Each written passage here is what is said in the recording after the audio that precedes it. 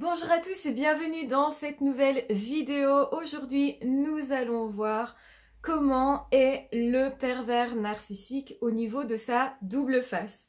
Donc en fait, méfiez-vous toujours des personnes qui ont deux faces. Donc vous verrez que généralement quand la personne a deux faces comme ça, très différentes, très opposées, vous aurez généralement une personne qui est fausse, qui porte un masque, qui essaye en fait de vous plaire, qui est souvent dans la dépendance affective et qui même essaye de vous manipuler. Donc, première chose que vous allez voir chez les pervers narcissiques, c'est leur apparence, leur gentillesse, leur masque, leur côté sociable même. Certains prennent vraiment à cœur ce côté social, ce côté je me montre comme un grand séducteur. Et là, ça cache forcément quelque chose. Plus une personne a souvent été dans cette position de séduire, d'amener les gens vers lui, de paraître super sympa, etc., plus cette personne est entraînée à quelque chose et plus cette personne, elle paraît douée dans cette compétence précisément. Et donc les pervers narcissiques, ce sont des grands séducteurs, des personnes qui attirent à eux, des personnes qui accrochent les personnes, qui ont travaillé là-dessus, qui ont travaillé sur l'intonation de leur voix, leur manière de se positionner, ce qui va faire vibrer la plupart des gens. Ils vont justement aller pêcher chez vous beaucoup d'infos. Et les premières infos qu'ils vont récupérer sont généralement dues aux réseaux sociaux. Par exemple, c'est quelqu'un qui va vous ajouter sur un réseau pour avoir des informations sur vous. Ils vont regarder qu'est-ce que cette personne aime, qu'est-ce qui la fait vibrer, qu'est-ce qu'elle est en train de chercher ou qu'est-ce qu'il cherche. Et justement, je veux répondre à un rêve de cette personne. Pour m'attacher à cette personne, pour que cette personne, elle soit OK pour faire plein de choses avec moi, il faut que je fasse croire à cette personne que de un, je suis super gentille, super fiable, la personne qui va changer sa vie, je vais me positionner comme un sauveur, comme quelqu'un d'hyper aidant et comme quelqu'un qui est vraiment dans une position de tu peux me faire confiance, je suis fiable autrement dit, parce que justement je te montre combien je suis une belle personne, une bonne personne pour aider les autres, une personne qui est là pour toi. Je vais me montrer particulièrement attentionnée, à l'écoute, et ils vont faire peut-être trop justement. Donc, le premier signal d'alarme, c'est cette personne essaye vraiment de me lire. Elle fait vraiment très très attention à moi. J'ai beaucoup de messages, une personne qui est très proche, qui se colle à moi. Donc ça, déjà, ça doit vous mettre la puce à l'oreille. En fait, il y a deux types de personnes qui vont faire ça notamment. Vous avez les pervers narcissiques et les borderline. Et on verra aussi la toxicité parfois des personnes borderline parce que ils montrent du faux. En fait, ce sont des personnes qui essayent de vous attirer, que ce soit des pervers narcissiques ou des borderline, en montrant une image qu'ils ne sont pas. Le problème, c'est pas tellement de montrer son meilleur côté comme on le ferait en séduction. Donc la personne qui fait ça, elle va montrer que ses bons côtés pour vous attirer, par exemple. Et on fait tous un peu ça au début d'une relation. Pourquoi? Pour essayer d'avoir une chance avec vous. Donc si on est intéressé par quelqu'un, on va essayer d'attirer à soi cette personne, de la draguer autrement dit, et de faire en sorte que cette personne ait envie d'être avec nous. Donc on va se montrer dans tout ce qu'on peut apporter à l'autre en fait. Sauf qu'une personne normale, quand elle fait ça, quand il n'y a pas de trouble justement mental, parce que la perversion narcissique est un trouble mental, donc c'est une personne qui est malade, et le trouble borderline est un trouble de personnalité, donc il y a aussi un problème. Donc si on regarde chez une personne normale, une personne normale va faire ça, mais vraiment en montrant ses vraies qualités. Donc en étant réel, en étant authentique quand même, même si on ne montre pas ses défauts, qu'on va camoufler les choses, c'est plus par omission en fait, mais quelque part, on n'est pas faux quand on fait ça. On a des vraies intentions, des vraies belles intentions par rapport à cette personne-là. On veut vraiment rentrer en relation, on a vraiment quelque chose à apporter. Ça peut vraiment, en fait, être une belle relation, même si on montre que ses bons côtés. Donc, parenthèse faite, le pervers narcissique va faire ça avec des choses qu'il n'est pas. Il va vous montrer qu'il est vraiment quelqu'un d'accueillant, qui aime les gens. C'est faux. C'est quelqu'un qui va vous montrer qu'il peut vous apporter beaucoup d'amour rien qu'à vous, qu'il est fiable, et c'est faux. c'est pas du tout quelqu'un de fiable, c'est quelqu'un qui cherche à vous manipuler, à vous manœuvrer, mais pour en fait vous faire du tort, pour vous faire mal, pour vous prendre quelque chose, parce que c'est de la jalousie qu'il y a derrière. Jalousie de ce que vous avez en plus que. C'est-à-dire que vous jouissez de la vie, vous profitez de la vie autrement dit, vous êtes une personne rayonnante, en tout cas, vous essayez de vous en sortir au mieux, vous avez une force de vie en vous qu'ils ont détectée. Et peut-être vous n'avez pas assez conscience, vous, que vous avez cette force-là, vous n'avez pas assez confiance en vous, en vos capacités, et peut-être vous avez cette difficulté pour vous déployer pleinement, et des blessures, des blessures dans l'enfance, des blessures peut-être liées à pas assez d'ego, justement. Vous n'êtes pas en train de vous valoriser assez, de prendre assez votre place, d'oser assez. Et cette personne va profiter de cette faille-là, qui pourrait être justement une petite faille si vous rencontrez des personnes normales, mais face aux pervers narcissiques, ils vont profiter de vous, de votre gentillesse, qu'ils vont voir comme une faiblesse, qu'ils vont transformer en faiblesse, parce qu'ils vont utiliser votre bon cœur, on va dire ça, et vos atouts, que vous ayez de l'argent, une beauté physique à proposer, que vous ayez justement une certaine aura sociale, ils vont profiter de vous et de tout ce que vous pouvez apporter. Ça peut être profiter de votre intelligence parce qu'eux ne savent pas faire, parce qu'eux ne veulent pas faire les efforts non plus. Par exemple, au niveau du travail, ils vont vous demander de travailler pour eux, ils vont vous faire chercher un travail pour eux, ils vont tout faire pour qu'il soit intégré dans un groupe social parce que vous, vous connaissez ce groupe social-là. Donc attention à tout ça, ils vont prendre votre argent, votre énergie, votre temps et surtout votre gentillesse, tout ce que vous pourrez faire pour eux. Ce sera de l'aubaine si vous voulez. Ils vont prendre ça en se disant ah ben je prends, je prends, je prends. Le problème c'est qu'ils prennent, ils prennent, ils prennent. Le borderline fait aussi ça, prendre, prendre, prendre, prendre. Et en fait ce sont des personnes qui vont pas donner vraiment, qui en fait, n'ont pas grand-chose à donner. Et c'est pour ça qu'ils font ça. Sauf qu'ils vont vous duper, vous mentir et tricher. Que le borderline peut dire clairement, en fait, j'ai rien à t'apporter. Donc la différence entre les deux, c'est que le pervers narcissique veut vous faire mal et va vraiment être content de vous faire mal. Donc il y a vraiment un côté comme ça, je t'utilise comme un objet, je ne te reconnais pas comme personne. Alors que le borderline, même si ils peuvent être toxiques, ils vont faire ça parce qu'ils savent pas trop quoi faire d'autre.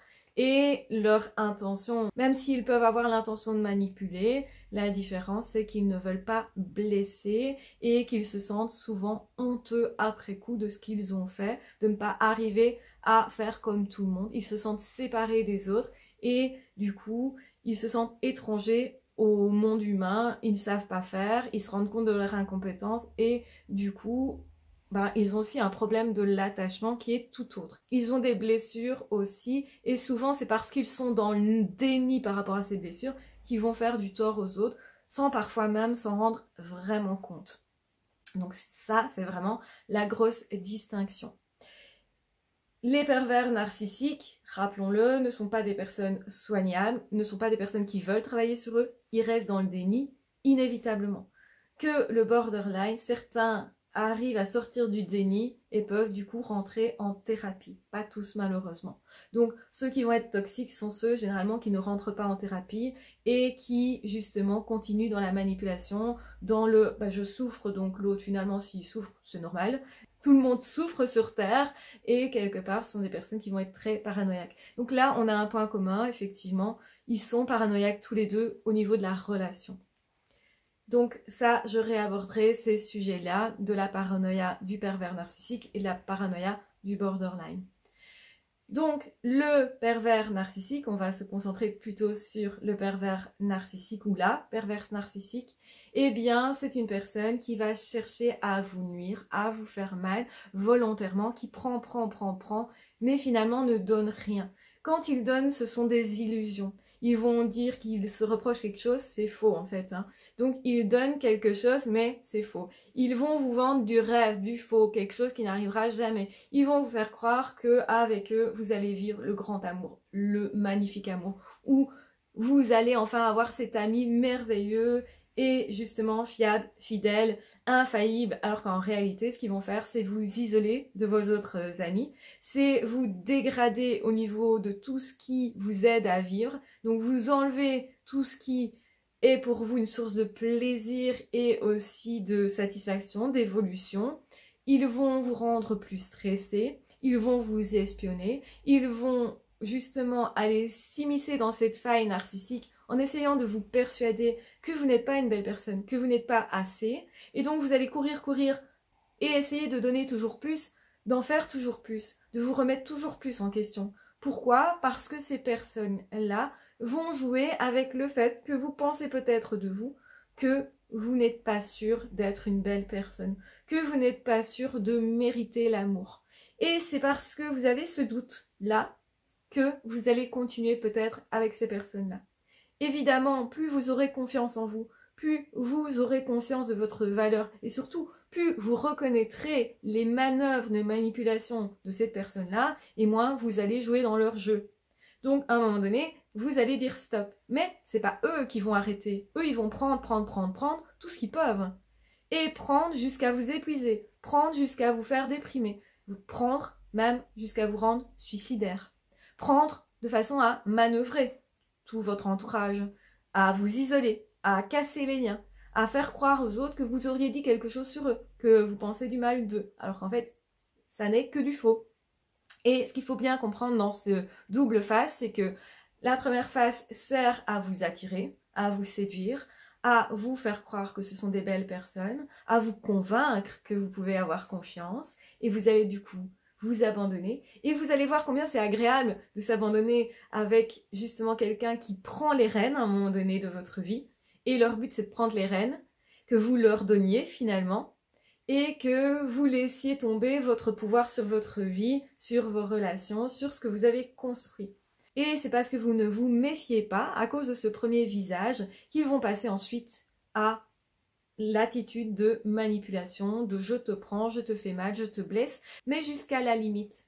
Donc c'est-à-dire qu'ils vont essayer de ne pas dépasser votre limite et surtout que vous ne preniez pas conscience de leur vraie nature, leur vrai visage qui est derrière, qui est derrière le masque, où effectivement ils veulent vous faire souffrir, vous voir souffrir, vous voir dépérir, voir en fait que vous ne pouvez plus profiter de votre vie.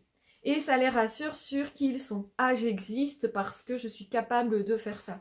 Ça, c'est l'attitude même des psychopathes. Hein. c'est je veux faire mal à l'autre pour voir que j'existe, pour me sentir être une forme de Dieu, de tout puissant comme ça. Ils ont vraiment un ego démesuré et vous allez voir que justement, tout d'un coup, ils vont vous dire tout ce qu'il faut faire, comme s'ils savaient tout mieux que tout le monde.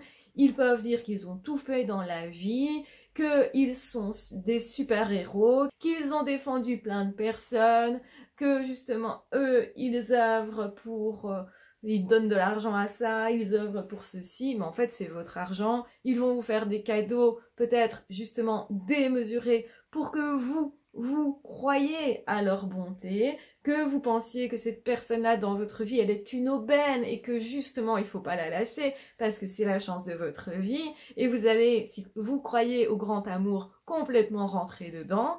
Et du coup, plus vous êtes investi d'une mission, plus vous sentez que vous, vous avez besoin d'amour, de vraie amitié ou justement d'un magnifique boulot dans lequel vous allez vous éclater et plus ils vont vous vendre votre rêve. Mais c'est une apparence, c'est du faux. Ils vont vous dire mais oui, je peux te donner ce magnifique boulot.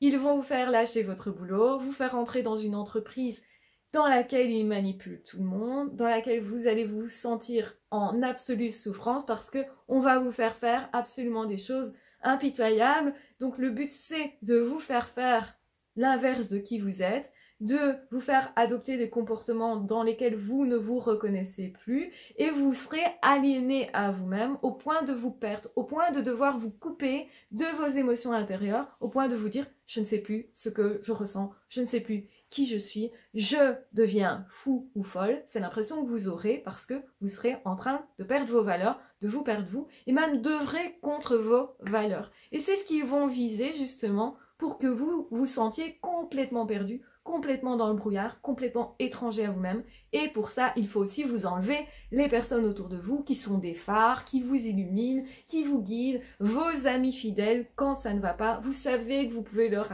téléphoner à presque n'importe quelle heure et que ces personnes vont vous éclairer sur qui vous êtes, vont justement vous rassurer sur vos qualités, sur les décisions à prendre, vont vous parler correctement de façon à ce que vous, vous soyez en train de vous dire ah oui c'est ça que je voulais faire, voilà ma boussole, ma boussole elle est à l'intérieur, mais justement il faut pas que je me coupe de qui je suis moi pour pouvoir savoir où je vais dans la vie. Et si je ne sais plus où je vais dans la vie parce que cette personne me perturbe tellement, eh bien à ce moment-là ils vont prendre le pouvoir. Parce que finalement vous êtes perdu et vous allez croire que cette personne est la personne qui vous guide, la personne fiable et la personne à laquelle il faut s'accrocher et la boucle est bouclée. Et là, le piège est refermé. C'est pour ça qu'ils utilisent donc leurs deux visages. Le premier est celui qui vous montre et l'autre celui qu'il ne faut absolument pas montrer. Du coup, ils vont vous faire mal tout en vous disant c'est pour ton bien. C'est assez pernicieux justement, hein, donc c'est subtil, ils vont s'immiscer comme ça dans ce que vous pensez, dans ce que vous croyez, ils vont vous dire t'es sûr, tu penses bien que, mais si t'avais tort, regarde là, t'as quand même pas été super, peut-être que t'es pas si gentil que ça, et ils vont vous convaincre vous-même que vous êtes une personne abominable, que vous ne savez pas faire, que vous êtes nul, que vous êtes faible, que de toute façon personne ne voudra de vous, et c'est pour ça que vous allez encore plus vous accrocher à cette personne-là parce que vous êtes perdu. Et vous allez devenir dépendant affectif, c'est-à-dire que vous allez croire que cette personne peut régler tous vos problèmes. Et pire, vous allez même passer le plus clair de votre temps à appeler cette personne, à penser à cette personne, à vous accrocher à cette personne. Et le pire, c'est ça, c'est que vous croyez vraiment au rêve qu'il vous a vendu, à savoir que c'est la personne absolument qu'il vous faut dans votre vie. Alors que c'est faux. La seule vraie personne qu'il vous faut, c'est surtout vous, vous-même. Ne vous perdez Jamais. Et si ça a été le cas, retrouvez-vous au plus vite. Passez du temps avec vous-même pour savoir ce que vous ressentez, ce que vous voulez. Relisez peut-être des journaux intimes pour vous retrouver vous-même, pour justement vous retrouver. Il est peut-être indispensable de vous reconnecter avec des amis d'enfance, avec des amis qui ont toujours été là, de reprendre contact là où eux justement voulaient vous isoler. Ne vous laissez pas faire, ne vous laissez pas convaincre que vous ne pouvez rien faire parce que c'est faux, parce que c'est votre vie, parce que c'est à vous d'avoir les rênes en main de votre vie et que c'est super important en fait, et que c'est comme ça que vous irez quelque part et pas droit dans un mur parce que c'est là qu'ils vont vous emmener droit dans un mur et justement le pire c'est que vous serez peut-être tellement désemparé, triste et vous aurez tellement mal que vous risquez de aller rechercher cette personne-là en vous disant c'est la solution, au moins cette personne elle m'apaise pour un temps, mais en fait c'est jamais que pour redanser derrière. Donc cette personne de temps en temps, elle va vous resservir votre rêve, vous resservir l'image idéale, ou elle va vous convaincre que effectivement elle va vous aider, elle va vous sauver. Mais juste avant, en fait, cette personne vous a fait mal, vous a mis dans le pétrin, vous a fait des problèmes dans la vie, justement pour vous dire derrière, oh t'as vu, heureusement que tu m'as moi, T'as vu comme je suis un ami formidable Tu n'as personne d'autre. Heureusement que je suis là. Mais en fait, c'est cette personne qui a évincé tout le monde. Mais en fait, c'est cette personne qui a essayé de vous convaincre que tout le monde vous voulait du tort, du mal. Et c'est parce que vous êtes rentré dans le monde du pervers narcissique que vous y croyez. C'est pas vous qui êtes fou, c'est l'autre qui projette sa folie sur vous en essayant de vous convaincre de la prendre à charge. Et vous vous dites, il y a sûrement un problème chez moi, je cherche, je cherche, je cherche, et je ne trouve rien. Et c'est pour ça que je deviens fou. Je fais un truc et je pense avoir tel résultat et j'ai autre chose. Parce que les pervers narcissiques vont vous faire danser, mais le but c'est pas que il y ait quelque chose de logique, il n'y a rien de logique chez eux. La seule logique c'est justement de vous faire vous perdre complètement de vous faire vous sentir fou, c'est-à-dire que finalement quand vous pensez que la bonne chose à faire c'est ça, ils vont vous dire ah ben non c'était ça, t'as vu, t'as fait exprès, et ils vont constamment vous retourner le cerveau. Donc faites attention aux personnes qui vous manipulent parce qu'ils vous éloignent de vous de plus en plus. Donc si vous vous sentez de plus en plus étranger à vous-même, attention, c'est que vous êtes dans une relation toxique. Si vous ressentez de plus en plus de souffrance, d'égarement, vous avez l'impression d'être à bout, c'est que vous êtes dans une relation toxique. Si vous êtes constamment en train de vous dire que vous n'êtes pas une belle personne, etc., c'est que vous avez une relation toxique maintenant avec vous-même, qui vient certainement de tout ce que vous avez intégré, de tout ce que l'autre a voulu vous faire croire. Donc, attention, prenez bien soin de vous. Vous devriez toujours vous traiter comme votre meilleur ami et évincer les personnes qui essayent de vous convaincre que vous n'êtes pas une belle personne, que vous ne savez pas faire, que vous êtes soi-disant impuissant, incapable et tout ce qu'on veut, que vous êtes nul. C'est faux, personne n'est nul. Vous savez très bien que vous avez réalisé plein de choses dans votre vie. Donc, faites une liste de tout ce que vous avez réalisé, tout ce que vous avez réussi, de tout ce qui est formidable chez vous, de tout ce que vous aimez chez vous. Ça vous revalorisera. On fait pas ça juste pour se flatter. On fait ça vraiment parce que ça fonctionne et parce que c'est important de reprendre confiance en soi, en ses capacités pour reprendre les rênes de sa vie et se dire ah je suis capable, alors je suis capable de mener ma vie, de savoir où je vais, même si c'était peut-être agréable de me laisser guider par quelqu'un d'autre, certes, je ne veux pas aller dans le mur et donc moi je reprends les rênes de ma vie. Une fois que je vois clair justement sur les pervers narcissiques, ils perdent leur pouvoir sur vous, ils vont vous en vouloir pour ça parce qu'en fait vous êtes une personne lumineuse qu'ils ne pourront plus perturber ou plus suffisamment en tout cas pour que vous soyez en souffrance, en grande souffrance et que vous ne compreniez pas votre situation. Donc vous n'êtes plus dans le brouillard et c'est la première chose à faire, c'est sortir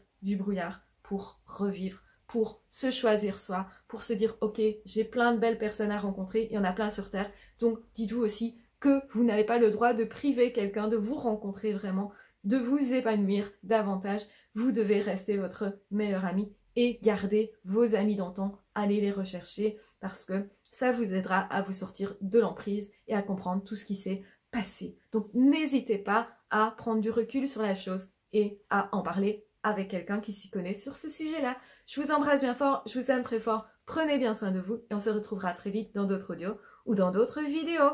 Ah ciao bye bye Si c'est pas encore fait, n'hésitez pas aussi à vous abonner. Ah ciao bye bye